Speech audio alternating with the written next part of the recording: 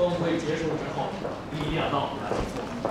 我爱好茶叶还是就知道你爱喝茶。郑总，啊，您好，我是艺文文化的陈一鸣，是龚部长让我在这儿等您的。哦，我知道了，你就是老公说的那个自媒体大 V，想找我投广告。对，好，您看，这是我们公司的简介。哦，你们现在有多少粉丝啊？呃，目前我们公司刚刚起步，虽然只有六万的粉丝，但是我们公司六万，六万就想找我投广告，你这想的也太美了吧！这样吧，等你过了百万粉丝，再来跟我说话。郑总，我现在有些人啊，是完全不知道自己几斤几两，就到处推销自己，这就是不知天高地厚。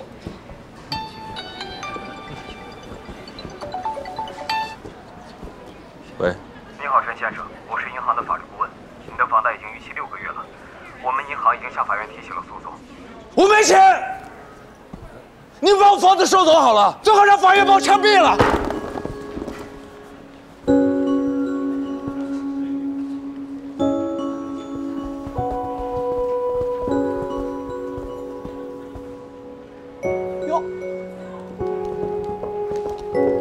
王总，那个，我上次给您的资料您看了吧？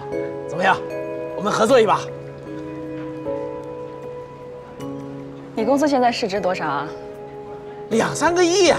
才两三个亿呀，就想跟我合作，想的太美了吧？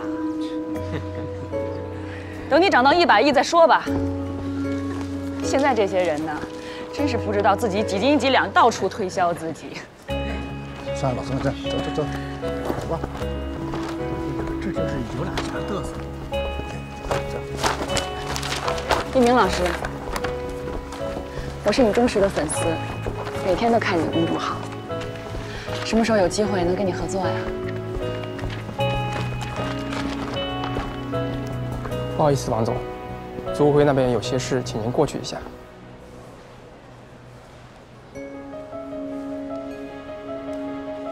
那我先进去了，合作的事儿我让秘书跟你。王总这边请。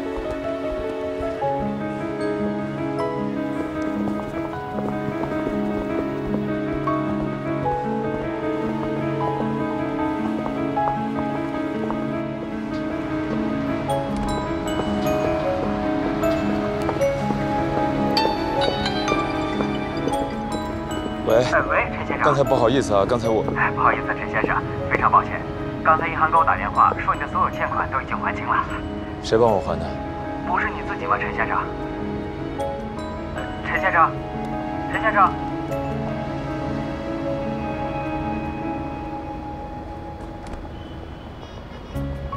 一鸣，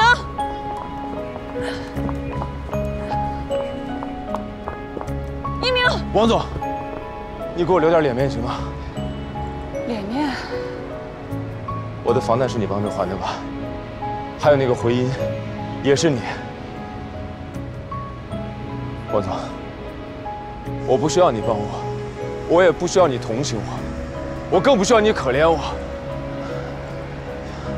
王总，我求求你了，你给我留点自尊行吗？你放心，你帮我的那些，我全部都会还给你的，但是给我点时间。一鸣，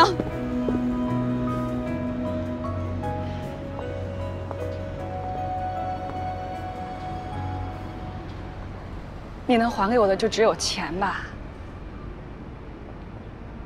我还付出了我的关心、牵挂、尊重、欣赏，还有爱慕，这些你怎么还给我？你说你有你的自尊，你的脸面，难道我就没有我的自尊，我的脸面吗？我鼓起所有的勇气跟你表达了感情，换来你的不辞而别。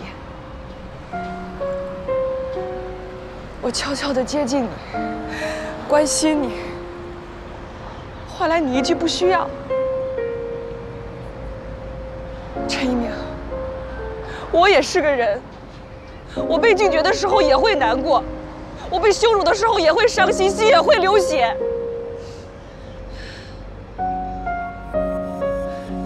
有我的骄傲，我的自卑。但是面对你，我放下了所有的武装，暴露了我所有的软肋。我希望你好，我希望你开心。我还做错了吗？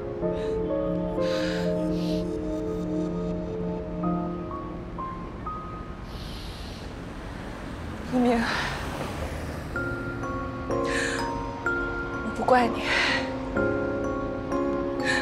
是我把自己放到尘埃里了，是我给了你伤害我的权利。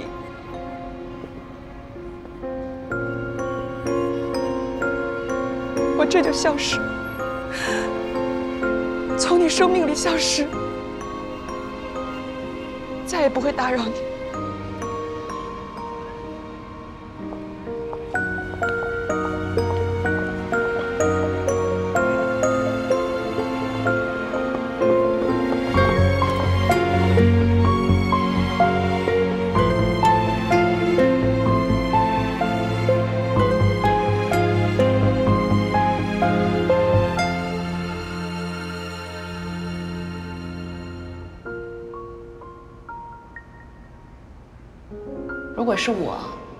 我就尊重内心的选择。从经济学角度讲啊，人和人之间的关系交流都是为了得到利益，也就是说呢，人和人的关系本质是利益，感情关系也是利益关系的一种。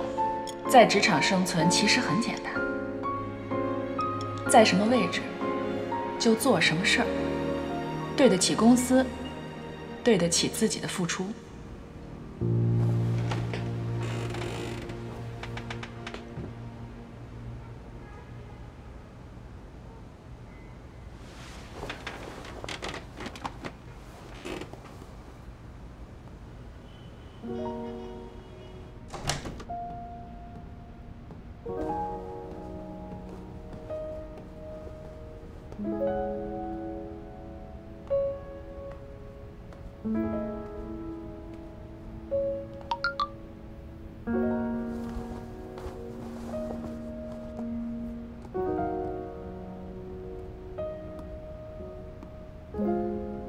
姐，最近什么时候有空？我们聚聚。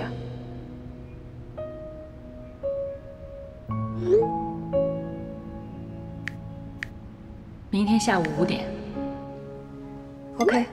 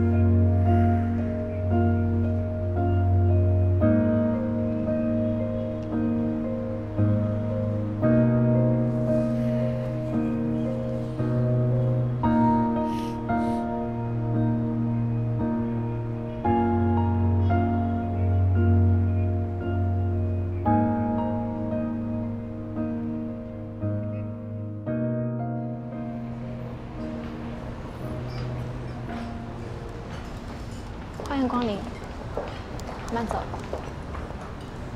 好久不见啊，气色不太好。想喝什么？嗯、柠檬水吧。服务员，麻烦要一杯柠檬水。好的，谢谢啊。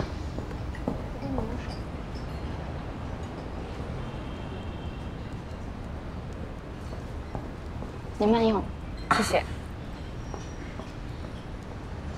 我记得当初我介绍潘总跟你认识的时候，你们聊得挺投机的。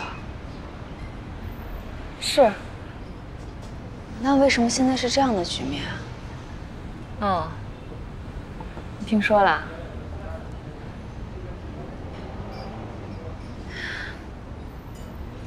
思如姐，潘总的脾气是大了点，急了点儿，但是他的人品、格局、能力，是我见过企业家中最优秀的。有的时候他不拘小节，也不愿意被规矩束缚，但是他做这一切都不是为了自己，而是为了绿宝的发展，为了他的家国情怀。你说的没错啊，我挺欣赏他的。但是，也不代表他就是绿宝最佳的董事长人选呀。那你觉得谁比他更合适？我。你根本不懂电池，不懂新能源，但是我知道怎么用绿宝赚钱呀。在你眼中，绿宝只是赚钱的工具。是。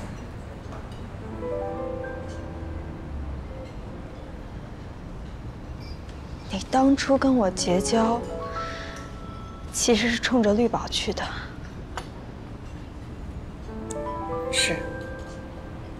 当时我正在关注新能源领域，你的出现，恰好给了我一个契机。你从我这里知道，绿宝有股权融资。又从我嘴中套出华安跟胡英的消息，在我没有利用价值之后，又通过出卖我，给方展递了投名状。哎，这一点我得纠正一下啊，是我取得了方展的信任。我一直把你当朋友，我也把你当朋友啊。你一直在利用我，思雨。你从我这儿也得到了不少好处啊，我还帮你省了三十万修车费呢，还有你的前男友，也是我安排的工作呀。我真傻，居然没能看透你，竟然还把你推荐给潘总。你没看透的不是我，是生活本身。作为成年人，你应该知道。每一个馅饼的背后都标好了价钱。是我害了潘总，害了绿宝。你也不用太自责了。绿宝在我的手里只会越来越值钱。潘总现在虽然不是董事长了，但是也是股东啊，他也会获利的，甚至会超过他前十几年的总和。你认为钱就是一切？我是做投资的，钱对于我来说就是一切。如果是这样的话，那你的人生一定很乏味，因为除了金钱之外，还有很多有价值的东西。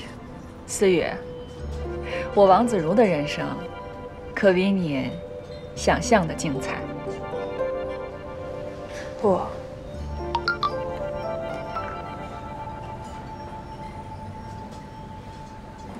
那你再好好体会体会吧。我男朋友来接我了，抱歉啊，我先走一步了。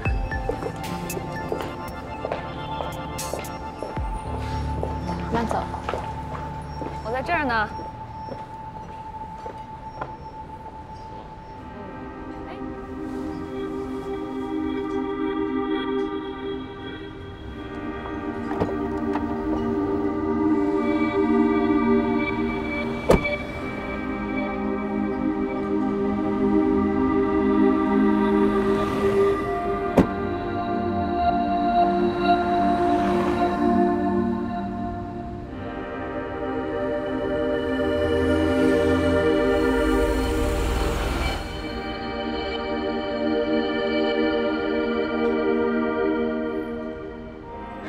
可能，千真万确。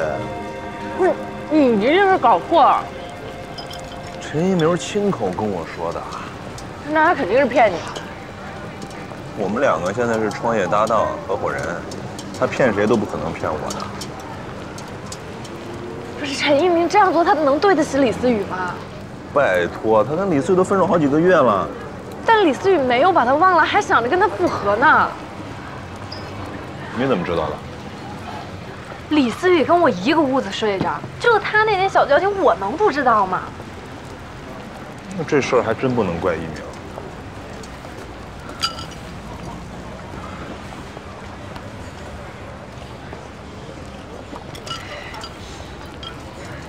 陈一鸣一定是为了钱才跟那个老女人在一起。哎，我可不允许你这么说我兄弟。我就说了，陈一鸣就是一个贪慕虚荣的软饭男。你这话从别人嘴里说出来，我觉得没问题；要从你嘴里说出来，我就不太理解了。你什么意思啊？你不是一直想嫁一个有钱人吗？陈一鸣已经帮你完成了梦想，你这个时候应该鼓掌啊，为陈一鸣，视他为人生偶像。还有，你到底是骂陈一鸣还是骂你自己？再说了，陈一鸣可不是软饭男，王子如给我们投那点广告全被他拒绝了，他现在吃饭还指着我呢。哎，怎么吃到一半就不吃了？我气死了！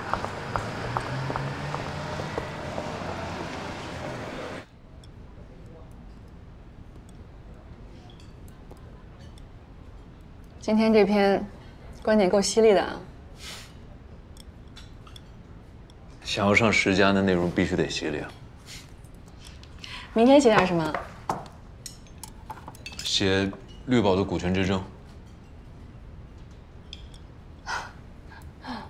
好啊，你站哪边？作为一个观察者，我当然保持中立啊。我很期待看这一篇。哎，我现在可以采访你一下吗？可以，知无不言。那你跟潘志勇合作了这么长时间，你觉得他是一个什么样的人？嗯，潘志勇有理想，有情怀。哎，可是市场不相信情怀和理想啊，市场相信的是法律、力量、规则。我还听说，他离开六宝之前放狠话了，说什么“你们这帮野蛮人，我看你们能得意多久。”是，收购者被视为有狼性，是因为把资本回报放在首位。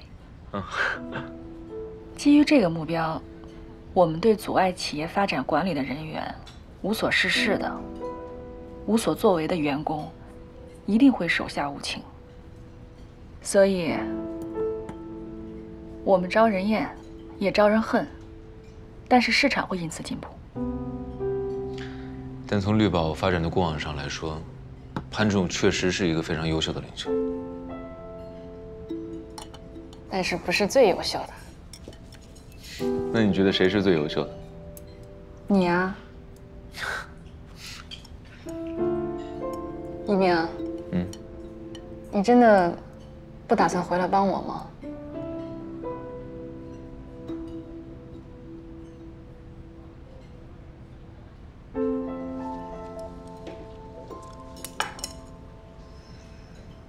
知道之前我为什么要离开天野吗？我知道，被我吓着了。不是，我我那个时候刚分手不久，我内心真的很乱，所以我需要时间、空间，安静下来，好好想一想我。我到底是个什么状况？我明白。所以那个时候，不管是哪种情况，我都必须要离开天野。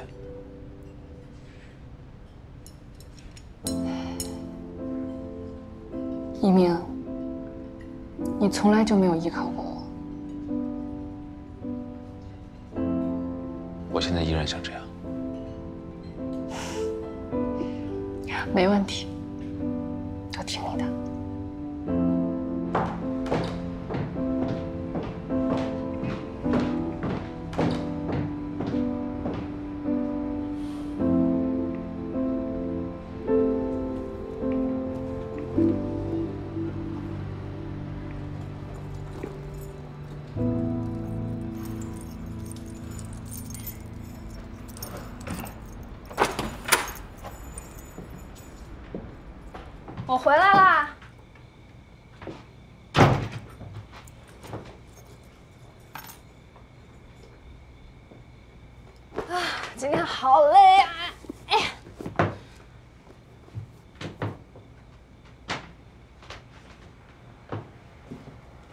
今天回来这么早啊？嗯。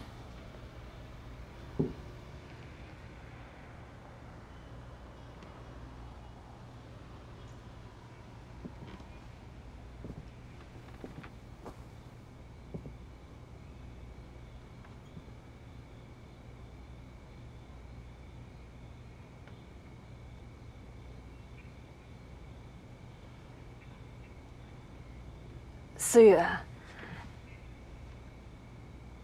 有个事，我知道了。你你怎么知道？我亲眼看到的。思雨，你听我说啊，没事儿，我跟他早就分手了，他跟谁在一起都跟我没关系。是这么个道理。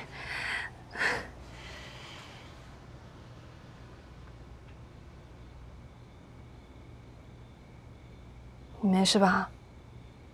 我能有什么事儿？不就一个男人吗？对，我们再找。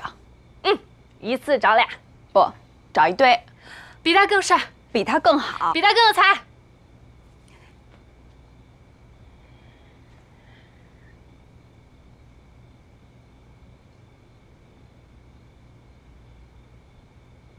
可我还是想要的。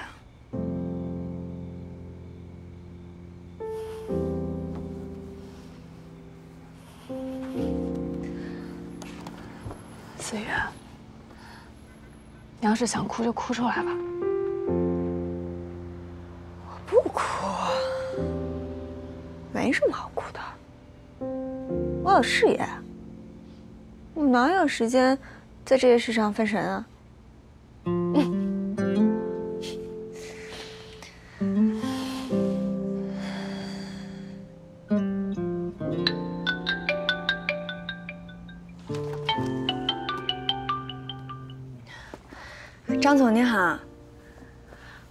问一下，关于投资来电了，您最后是怎么考虑的？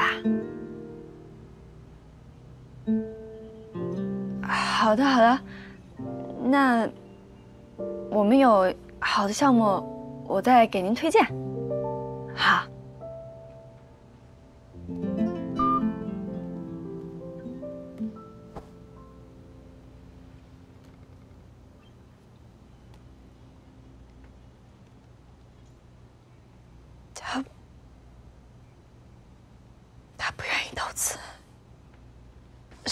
眼无珠。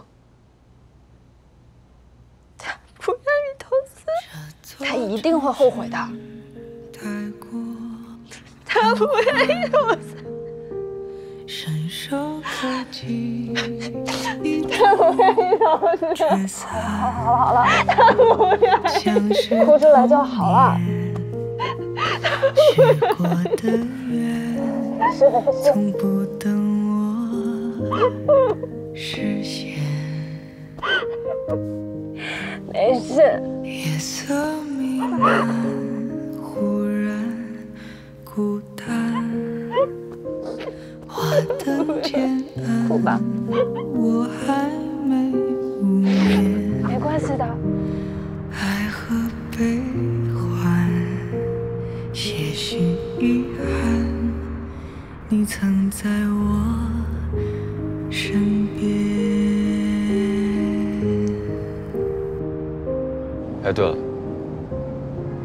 事还想跟你聊一下。嗯。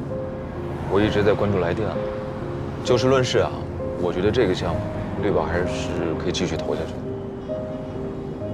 不能。为什么？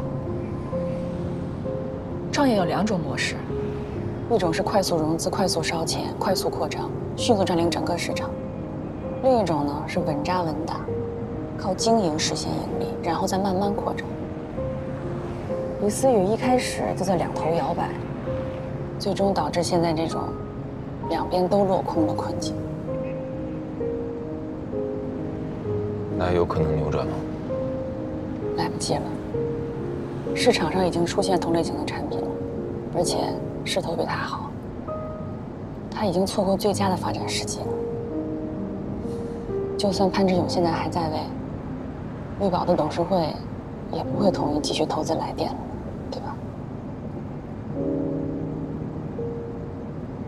真是挺可惜的。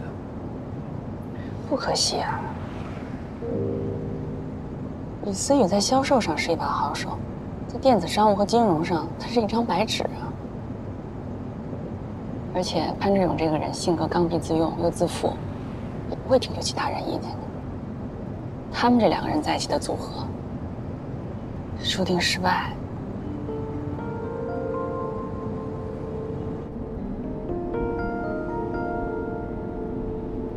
在挂念他呀？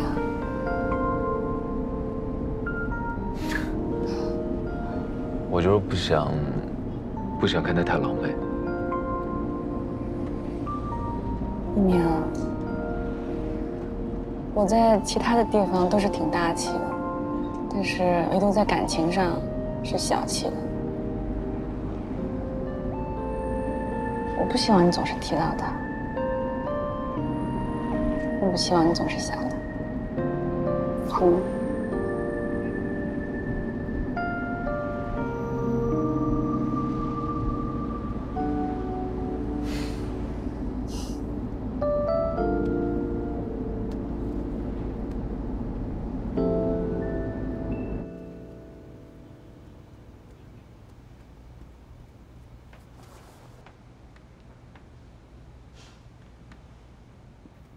真的是没有想到，那个王子如竟然是这样的人。现在回想起来，他最初接近我，企图的不仅仅是绿宝，还有陈一鸣。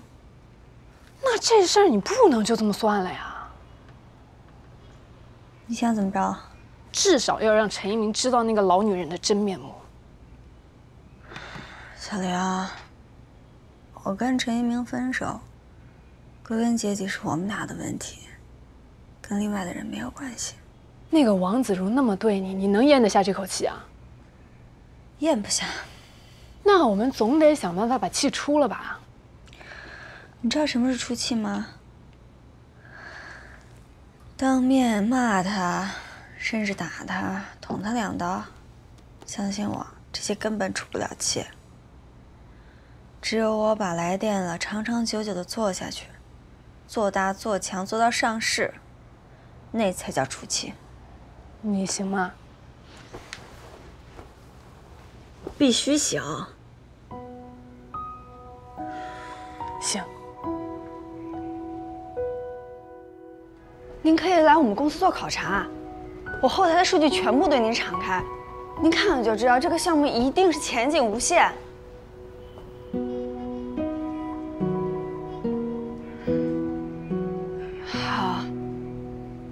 那我们再联系。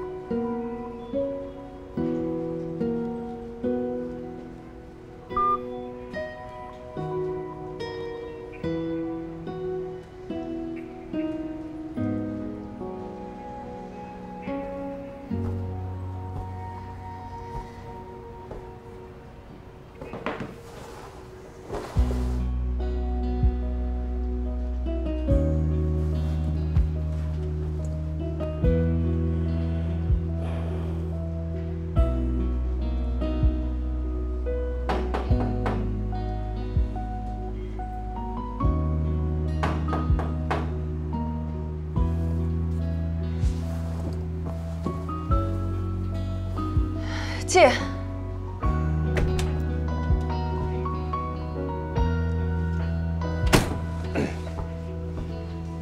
姐姐，我听说绿宝那边不给咱们投资了。绿宝自己出了点问题，那咱们来电是不要啊？绝不可能。但是咱们现在我还有其他融资渠道。真的啊？去干活吧。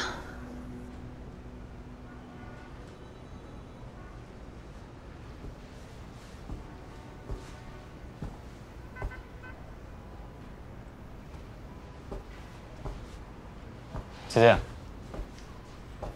不管是生是死，我都站你。你姐姐我绝不会死。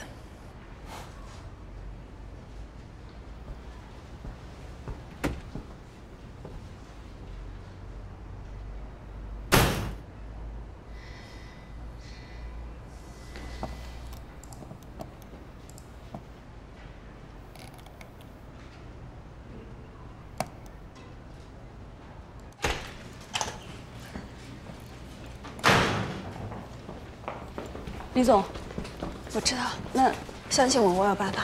李总，刚刚老白交了辞职报告，我知道，这个月到今天已经走了五个。没事，我们可以再招十个。李总，我觉得不是招人的问题，现在人心惶惶，关于公司的未来，各种说法。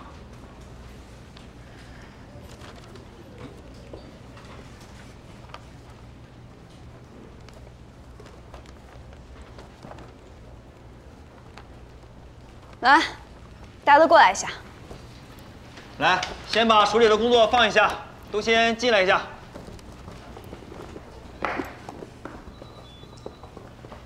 后边快一点。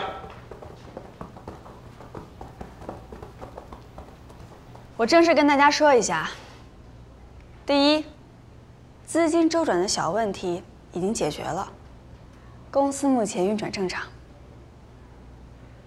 第二，我们来电的创业至今，一直是一家不断创造奇迹的公司。我们靠什么创造奇迹？靠市场？靠资金？不，靠的是我们的信念。我们不仅能战胜困难，还能战胜自己内心的自卑、懦弱、犹豫、怀疑。我们一定能赢，一定能笑到最后。追求完美，追求卓越。对，我们一起。追求完美，追求卓越，追求完美，追求卓越，追求完美，追求卓越。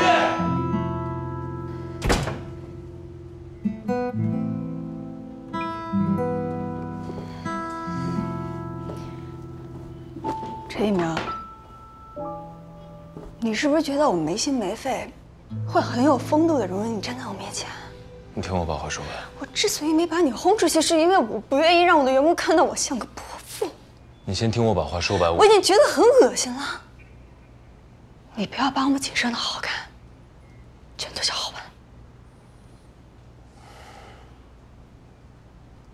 我不是来聊我们俩关系的。咱俩还有关系吗？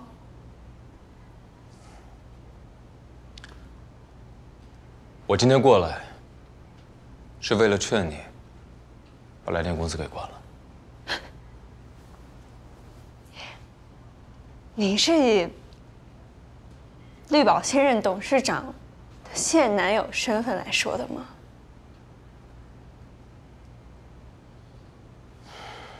我和子如姐的关系是我的私事，我不想解释。但是我今天过来，全是为你。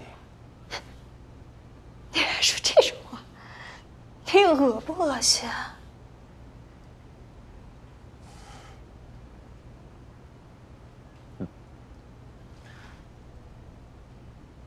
你要是真的想成功，就必须要懂得选择，学会放弃。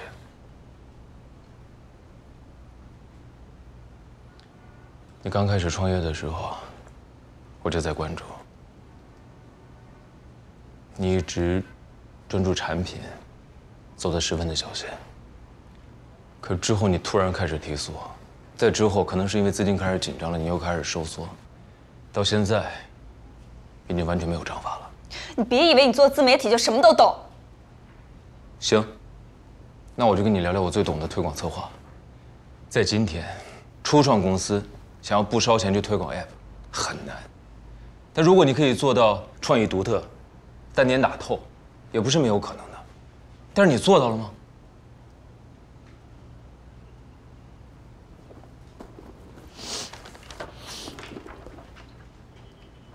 我们就说你这个宣传单，这和商场里促销的 DM 单有什么区别？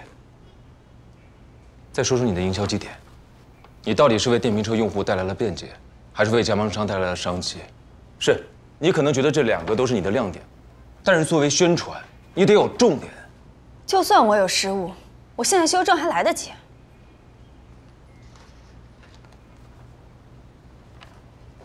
你已经弹尽粮绝了。所有的创业者都会经历黎明前的黑暗，只要熬过去就是曙光。这不是黎明前的黑暗，是越陷越深的泥潭。你凭什么这么说？来电的现状，我相信你一定比我清楚。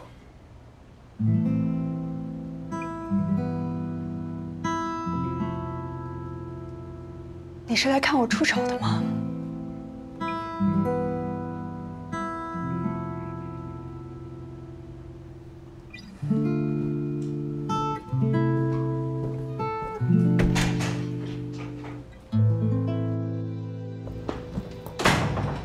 就走啊？别急啊，我还有一件人生大事想让你跟我一起见证呢。关小涛，你干嘛？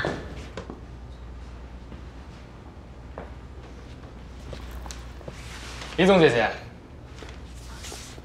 此刻是我认识你的第十九万三千四百五十一分钟。这个数字没有什么意义，但是我接下来要说的特别有意义。李总姐姐，你是我见过最酷的女生，我愿意被你打一辈子屁股。你除了有一个瞎了眼的前男友之外，你没有任何缺点。我爱你。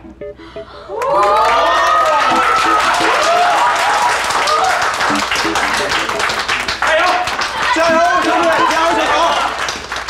玲珑姐姐，我有一只二百级的化无神兽蛟龙，哇！我决定把它献给你。什么东西啊？这是我的账号和密码，请你收下。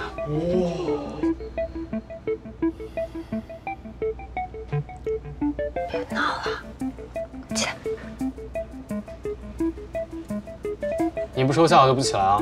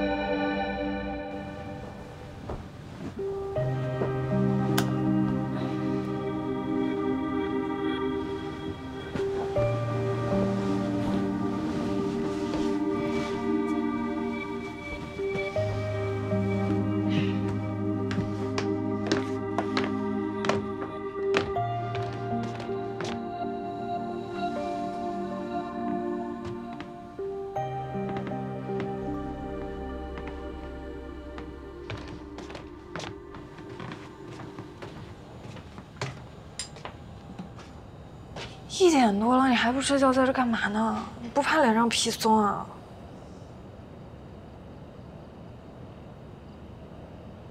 小学三年级的时候，我考了个第三名，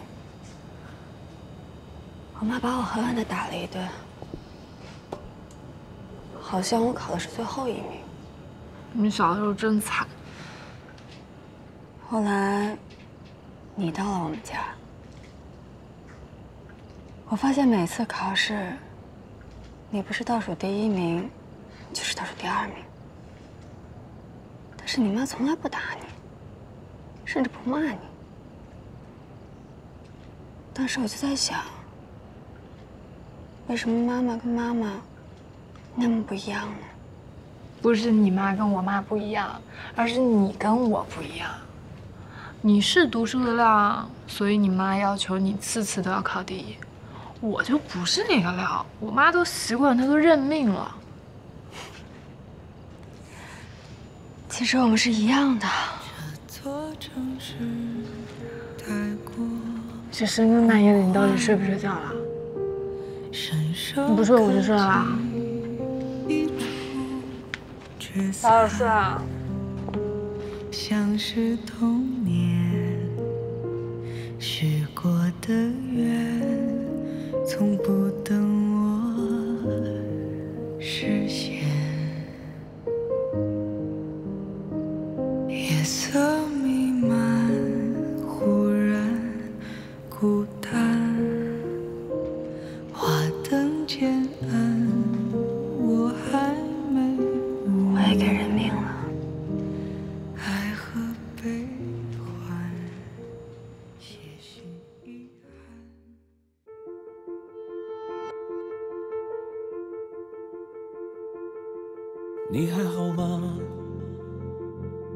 说最近的消息，一朝一夕，有的甜蜜，有的无力，还有一些无从说起。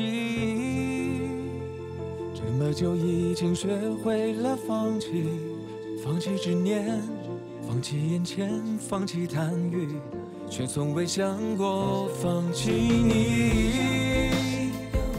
耶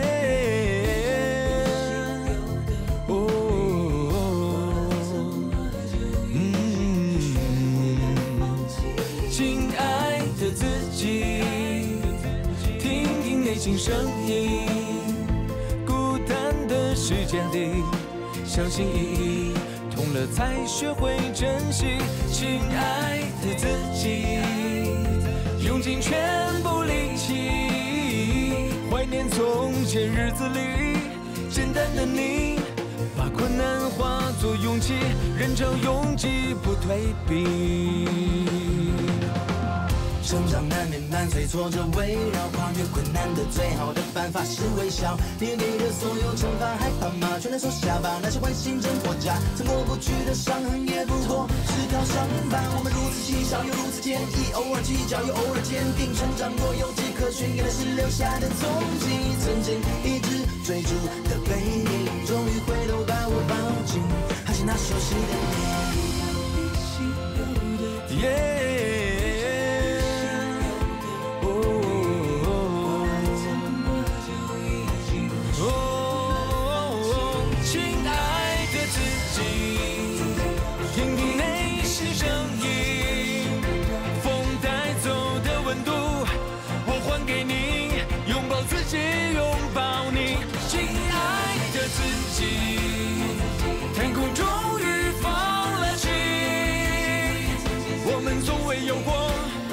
星星，寻找当初的自己，横冲直撞不逃避，横冲直撞不逃避，听听内心的声音，天空终于放了晴。